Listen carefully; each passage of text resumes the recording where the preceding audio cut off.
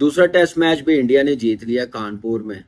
Test match था T ten था। T ten बना लिया हुआ था इंडियन टीम ने, क्योंकि जीतना बड़ा ज़रूरी था पॉइंट हासिल करना बड़ा ज़रूरी थे वर्ल्ड टेस्ट चैंपियनशिप के। कानपुर के अंदर जहाँ पे सभी ये कह रहे थे कि ये मैच जो है ड्रा हो जाएगा और इंडिया को बहुत बड़ा नुकसान होगा टेस्ट चैंपियनशिप के टेबल के ऊपर जो है पॉइंट्स जो है डिवाइड हो जाएँगे, लेकिन नहीं ऐसा होने दिया रोहित शर्मा एंड इलेवन ने। क्या कमाल की ये विक्ट्री है। आईसीसी को हाईली एक्शन लेना चाहिए इस परफॉर्मेंस की इंडियन टीम पे। भाई ये परफॉर्मेंस यार ये आप गलत मज़ाक कर रहे हो यार। बांग्लादेश की बन गई थी इज़्ज़त। हमें हरा के पाकिस्तान को जब बांग्लादेश ने हराया उसकी इज़्ज़त बन गई थी। धो दिया बंगालियों को। मतलब बंगालियों का बिल्कुल तेल निकाल के रख दिया और बता दिया बांग्लादेश वालों को कि बेटा तुम्हारी औकात घंटे की ही है। जो जो, तुम पाकिस्तान को हराकर इतने चौड़े बन रहे थे, पाकिस्तान को बजाकर इतने जो लोग तुरा खान बन रहे थे, वो कौन है वो बांग्लादेश का वो तस्किन अहमद। वो कह रहा था कि जी, हमने इंडिया को भी व्हाइट वॉश करना है। We are our eyes on world test championship we are gonna beat India we are gonna whitewash बेटा, तुम्हारे बाप से ना हो पाया तो तुमसे क्या घंटा हो पाएगा? हैं? देखो हम बांग्लादेश और इंडिया की जो सीरीज़ हुई इसके बारे में बात करने लगे हैं और जितने मेरे पाकिस्तानी लोग कह रहे थे कि भाई ये बांग्लादेश की जो टीम है वो बहुत इवेंचुअली पाकिस्तान से स्ट्रॉन्ग टीम है तो ये इंडिया को टफ टाइम देगी and Pakistan will be huge huge hugely happy खत्म tata bye bye Bengali tiger खत्म। वो खाली लोगों के अंदर ही शेर है। अपने मुल्क के अंदर वो चुई बिल्ली है। इंडिया के अंदर भी वो चुई बिल्ली का हिसाब नहीं रहा। सारा डंडा डाल दिया इतना डाला इंडिया ने। इतना डाला इतना इतना इतना इतना इतना डाला इंडिया को। इंडिया ने बता दिया कि बाप कौन है? और बेटा कौन है? इंडिया बाप है असली इनका और उन्होंने बता दिया सात दिन यार सात विकेटों से जीत गई है वो टीम डेढ़ दिन के अंदर उन्होंने टेस्ट खत्म कर दिया और पैट कमिंस सर पकड़ के बैठ गया बॉर्डर गवास्कर सीरीज़ में क्या हाल होने वाला है। इंडियन क्रिकेट टीम का इस टाइम जो न्यूक्लियस है ना with no disrespect to Virat Kohli ये ना समझना कि मैं विराट कोहली को डिसरिस्पेक्ट कर रहा हूँ। रोहित गुरुनाथ शर्मा इंडियन टीम के कैप्टन डिफरेंट है ना कुछ उसकी कप्तानी में। मतलब नज़र आता है दिखता है। मैं मैंने एम एस धोनी की कप्तानी देखी हुई है, मैंने विराट कोहली की कप्तानी देखी हुई है, मैं अब रोहित शर्मा की कप्तानी देख रहा हूँ। मुझे ना रोहित शर्मा की कप्तानी में ना धोनी की कामनेस और विराट कोहली की जो एनर्जी है, उन दोनों का ना एक ब्लेंड नज़र आता है। और वो मुझे ना जो आप एक, जब आप सेलिब्रेट करते हैं ना, कोई विकेट अपने किसी बॉलर ने आपके लिए है, या उसने कुछ बड़ा स्कोर किया है विद द बैट तो वो जो आपकी सेलिब्रेशन होती है ना, वो काफ़ी कुछ कह जाती हैं। अब आप एम एस धोनी का याद करें। कूल कामनेस ठीक है, आए, आराम से ग्लव आगे कर दिया बॉलर ने हाथ मारा, जी माई भाई, ठीक है डन हो गया ओके फाइन वो एक रिस्पेक्ट लेवल भी है। एक जिसे कहते हैं गुरु और चेले का रिलेशनशिप आप समझ रहे हैं ना? हेलो दोस्तों, नमस्कार। मैं हाजिर हूँ आपके साथ एक और न्यू रिएक्शन वीडियो में। गाय जब से भारत ने बांग्लादेश का क्लीन स्वीप किया है, भाई, पाकिस्तानी मीडिया का रो रो के बुरा हाल है और पाकिस्तानी मीडिया लगातार बांग्लादेश को ब्लेम कर रहा है कि जैसा क्रिकेट उसने पाकिस्तान में खेला था, वैसा वो भारत में जाके नहीं खेल सका। लेकिन भाई कौन अब इन पोरकियों को बताए कि उसने बांग्लादेश ने वैसा ही क्रिकेट खेला था जैसा पाकिस्तान के साथ उन्होंने खेला था। लेकिन आप लोग वैसा क्रिकेट नहीं खेल पाए थे जैसा आप खेलते हो और भारत में भी आकर उन्होंने अपना पूरा ज़ोर लगाया था। लेकिन यही अंतर है पाकिस्तान और भारत की क्रिकेट में। इसीलिए बांग्लादेश वहाँ पे पाकिस्तान का क्लीन स्वीप कर गया और यहाँ पे अपना क्लीन स्वीप करवा गया। लेकिन भाई, पाकिस्तानी मीडिया को ये बात पच नहीं रहा है। तो मैं कुछ पाकिस्तानी मीडिया के वीडियो लेके आया हूँ। पहले वीडियो देखते हैं, फिर बात करेंगे। 230 रन जब बनाए तो हमारे जहन में ये नहीं था कि रन कितने हैं। हमारे जहन में ये था कि हमारे पास ओवर कितने हमने कितने खेलने हैं। क्योंकि मैच को किसी भी सूरत में ड्रॉ नहीं करना चाहता था। ये एक सोच है कि मैंने रन नहीं देखे, ओवर्स देखे हैं। ये बहुत बड़ी एक बात है कि आपके आपने सोच रखा कि आपके पास खेलने को कितने ओवर हैं। तीस पैंतीस ओवर हैं ओके भले सौ पे सारे आउट हो जाएँ। ये रोहित शर्मा ने बोला कि चाहे सौ एक सौ बीस पे सब आउट हो जाएँ मगर हमने खेलना इस तरह से है।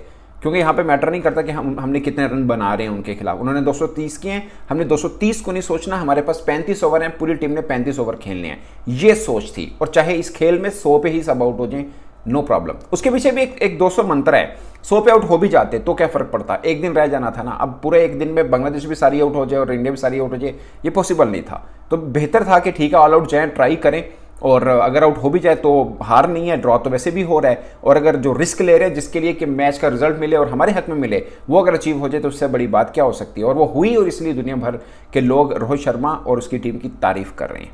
ये पीछे है। और फिर ऐश्वर ने बताया, उन्होंने बोला कि हमें मतलब था कि हमने जाकर जिनों के रोहित शर्मा ने बताया कि सबने खेलना है और जम के खेलना है। और ये लफ्जी बातों तक नहीं था रोहित शर्मा का कहना। वो जब पिच पे पहुँचे तो उन्होंने पहली बाल पे छक्का लगाकर ये बताया कि वो जो बोल रहे हैं, वैसा वो खुद भी कर रहे हैं और बाकियों को भी करना है। ठीक है man by not only by words आप मतलब अपने एक्शंस के साथ भी करके दिखाना है आपने तो वो रोहित शर्मा ने कर दिखाया। अगेन जिसे बोलते हैं ना कि लीड फ्रॉम द फ्रंट वो वाली बात होती है कि रोहित शर्मा, अगर अपनी टीम को बोल रहे हैं कि किसी ने, अब मुझे इस, ये टीम इंडिया की वो लग रही है जिसमें कोई नहीं होता कि फिफ्टी वाला है, कोई सौ करने के चक्कर में, कोई पचास करने के चक्कर में, उसकी वजह यह है कि कप्तान वैसा नहीं सोच रहा। कप्तान 49 के ऊपर भी छक्का अगर बॉल मिल जाए तो मारेगा 99 पे भी मारेगा, इसलिए बाकी खिलाड़ी भी उसी चक्कर में ही है। कोई ऐसा नहीं है कि 90 प्लस में आ गए तो रोक के खेल लें जो टीम की स्ट्रैटेजी है, वो खिलाड़ी की स्ट्रैटेजी है। उसकी वजह यह है कि कप्तान खुद वैसा कर रहे हैं। इस वास्ते ये टीम थोड़ी डिफरेंट टीम बन रही है और बन चुकी है एक्चुअल में। विराट कोहली का वो तो मतलब बट ढोल की कमी होती थी ग्राउंड के अंदर। वो तो नाच रहा है, कूद रहा है मतलब उसकी तो एनर्जी बहुत वो तो चलता फिरता ग्रिड स्टेशन है ना, मैं उसके बारे में हमेशा कहता हूँ। वो मैं बता रहा हूँ उसने किसी दिन ना यूँ करके लगाना है इधर प्लग लगा लो, यहाँ से चार्ज कर लो, जो चार्ज चार्ज करना है तुमने। सोलर पैनल भी अपना तुम बेशक ना उखाड़ के फेंक दो, मैं तुम्हें पूरे घर के लिए बिजली फराम कर देता हूँ, उसके अंदर इतनी एनर्जी है। रोहित का मुझे ब्लैंड लगता है। अब आप देखें ना, रोहित का आप वर्ल्ड कप देखें 50 ओवर्स का, उसमें उसकी कैप्टनसी देखें लीडिंग फ्रॉम द फ्रंट और कूल काम कंपोजर के साथ। वर्ल्ड टी ट्वेंटी देखें, ठीक हो गया। आप इंग्लैंड के अगेंस्ट सीरीज़ देखें, आप देखें साउथ अफ्रीका के अगेंस्ट सीरीज़ मतलब साउथ अफ्रीका के अगेंस्ट सीरीज़ इस वजह से थोड़ी सी मुझे ना ज़रा मैं थोड़ा टॉप पर रखता हूँ। आप बहुत बुरे तरीके से पहला टेस्ट मैच हारे हैं। बहुत बुरे तरीके से। आपकी टीम तितर बितर नज़र आ रही थी, लेकिन still somehow the other आपने दूसरे टेस्ट मैच में अपनी टीम को ऐसा खड़ा किया, ऐसा खड़ा किया कि आपने भैंस की आँख जिन लोगों ने आपको एक टेस्ट मैच मारा कुछ ही दिन पहले, उसी टीम को आपने डेढ़ दिन के अंदर उन्हीं के होम ग्राउंड में लताड़ दिया और मतलब फ्लैट लिटाया। डेढ़ दिन में आपने टेस्ट मैच खत्म कर दिया यार। आपने इतनी एक्स्ट्रॉर्डिनरी परफॉर्मेंस दी। फिर अभी आप बांग्लादेश के अगेंस्ट देख लें, आपके पास दो दिन थे। आपने 20 विकटें लेनी थी। आपने दो इनिंग्स में बैटिंग करनी थी। Depends upon your first innings ज़ाहिर सी बात है। आपने वहाँ पर भी आपकी गेम अवेयरनेस नज़र आई, आपकी गेम प्लानिंग नज़र आई, आपकी भैंस की आँख गेम प्लानिंग की 100 परसेंट एग्जीक्यूशन नज़र आई। मतलब आपने जो गेम से रिलेटेड प्लान किया हुआ था, आपने ग्राउंड के अंदर वो प्लान एग्जीक्यूट करवाया, पहले अपने बॉलर से, फिर उसके बाद अपने बैटर से। ये चीज़ जो है ना रोहित शर्मा की और प्लस डिस्पाइट द फैक्ट कि वो इस टेस्ट सीरीज़ में कुछ ज़्यादा नहीं कर सका, बांग्लादेश के against who gives a damn सीधी सी बात है हु गिव्स अ डैम ठीक है, चार इनिंग्स में नहीं परफॉर्म किया, क्या करें? निकाल दें, हैं? ऐसे तो नहीं होगा ना? और ठीक है यार, नहीं मूड कर रहा होगा खेलने का, कोई बात नहीं। वो, जिसे कहते हैं रोहित शर्मा जो है ना, या विराट कोहली, वो घर के छोटे बच्चों की तरह भैया। वो हो गया उनका। वो सर्टिफाइड सर्टिफाइड हो गए हैं कि अब ये जो भी मर्ज़ी करें, अब इनको नहीं कुछ कह सकते भाई। वो लाडले हो गए हैं, वो प्यारे हो गए हैं, वो क्यूटीज़ हैं, जो मर्ज़ी आप उनको नाम दे लें। रोहित शर्मा ठीक नहीं कर सका, इंग्लैंड वालों को उसने ठोका था, लीडिंग रन स्कोरर्स में से एक था। तो रोहित शर्मा एक तो लीड फ्रॉम द फ्रंट करता है। आपको पता है सिक्सटी परसेंट प्लस है उसकी तीनों फॉर्मेट्स में win percentage sixty percent sixty four के सिक्सटी फाइव मेरा ख्याल है, शायद टेस्ट क्रिकेट में है सेवेंटी ऑड को समथिंग टी ट्वेंटीज़ के अंदर थी। और इतनी कोई, मेरा ख्याल है, कोई साठ, सत्तर समथिंग या एट्टी परसेंट कुछ इस तरह कर करके उसकी ओडियाइज में है। लेकिन इतना मुझे पता है कि तीन, मैंने स्टैट्स पढ़ी थी, शायद मैं नंबर्स मेरा, मैंने वो जिसे कहते हैं मीडियम के हिसाब से आगे पीछे कर दी हूँ। लेकिन मुझे बड़े अच्छे तरीके से याद है कि रोहित शर्मा की तीनों फॉर्मेट्स के अंदर जो कैप्टनसी में विन परसेंटेज है that is way above 60 60 percent एक तरफ़ जीता इंडिया है आज तकलीफ़ पता नहीं क्यों हम सबको हो रही है पाकिस्तानियों को हो रही तकलीफ़ की वजह? देखें हम उस टीम से हारे हैं जिस जो टीम यानी कि जीतने के इस तरह काबिल ही नहीं थी। हम बांग्लादेश से हाँ, बांग्लादेश से। जो हमें घर में घुस के हमारी जिसको कहते हैं ना इज़्ज़त का मलिदा बना के चले गए उनका बेड़ा गर्क हुआ इंडिया के अंदर। और फिर अफसोस इसलिए हो रहा है कि मतलब कि ये टीम ऐसे हारनी चाहिए थी हमने भी इनको ऐसे हराना चाहिए था। वन साइड हारे ऊपर से हिस्ट्री ये बताती है आज तक हम उनसे हारे नहीं थे। और फिर उसके बाद हम हार गए दो ज़ीरो से हमने सोचा ये टीम बहुत अच्छी होगी इंडिया को भी हरा देगी। लेकिन इंडिया तो फिर इंडिया मैंने इंडिया को हराने का तो नहीं सोचा लेकिन मैंने सोचा यार टफ टाइम तो ज़रूर देंगे. पाइया उनको तो जितने मर्ज़ी बड़े खिलाड़ी मेहदी हसन मिराज सबको सबको एक्सपोज करके रख दिया उन्होंने सबको एक्सपोज करके रख दिया। इंडिया ने जले पे नमक छिड़कने वाला काम किया पाकिस्तान के साथ। सही में जले पे नमक मतलब कि पहले भी तकलीफ़ में थे शान मसूद को तो एक हफ़्ते से होश ही नहीं आ रही थी ना कि बांग्लादेश से हार गए। अब उसकी महीने तक होश उड़ जानी चाहिए कि इंडिया ने बांग्लादेश को दो ज़ीरो से हरा दिया और हम दो ज़ीरो से हारे इस टेस्ट मैच का रिज़ल्ट ऐसा आएगा किसी ने सोचा ही नहीं था भाई साहब। और ये कल मैं बातें कर रहा था कि एक सेशन पहले खत्म होता, नज़र आ रहा है वो हो गया।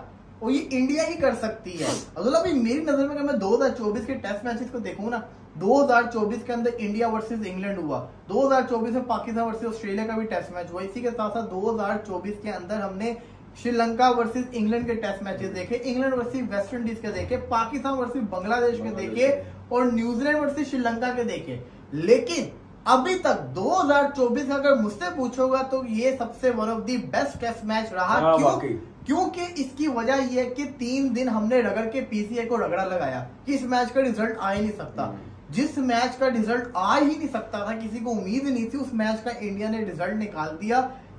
सिर्फ़ और सिर्फ़ डेढ़ दिन के अंदर। डेढ़ दिन के अंदर बिल्कुल सही बात है। और अगर ओवरऑल अगर पूरे मैच को देखा जाए ना तो दो दिन से ज़्यादा नहीं बनते क्योंकि पहला दिन था हाँ, उसमें भी आधा दिन वो बारिश हो गई आधा दिन खेला गया था। फिर अब ये भी आधा दिन पहले ही मैच खत्म हो गया तो ओवरऑल ये टेस्ट मैच था सिर्फ़ दो दिन का। तो गाइज़ फाइनली आपने पाकिस्तानी मीडिया को सुना और देखो, अब पाकिस्तानी मीडिया भी मानने लग गया है कि एक टाइम पर भारत अपनी बल्लेबाजी के लिए जाना जाता था। लेकिन अब जितनी मज़बूत भारत की बल्लेबाजी है, उतनी मज़बूत भारत की गेंदबाजी भी है, क्योंकि ये हमने साबित किया है। दो दिन के अंदर बांग्लादेश को दो बार आउट करके ये साबित हो जाता है कि भारत के पास अब उतनी मज़बूत गेंदबाजी है जितनी मज़बूत उसकी बल्लेबाजी और ये वही बांग्लादेश था जिसके विकेट पाकिस्तानी गेंदबाज निकाल ही नहीं पा रहे थे। और चलो, बांग्लादेश तो ठीक है, अभी पाकिस्तान का चार अक्टूबर से इंग्लैंड के साथ सीरीज़ स्टार्ट हो रहा है तो उसमें पता चल जाएगा कि भाई पाकिस्तान में कितना दम है, वो आप इंग्लैंड के सामने दिखा देना। तो गाइज़ आज के लिए बस इतना ही, और आप क्या कहना चाहोगे? प्लीज़ मुझे कमेंट बॉक्स में कमेंट करके बताएँ, अगर आप मेरे चैनल पर नए हैं। तो सब्सक्राइब कर ले, मैं आपसे मिलता हूँ जल्दी एक और न्यू रिएक्शन वीडियो में, जब तक के लिए गुड बाय एंड जय हिंद।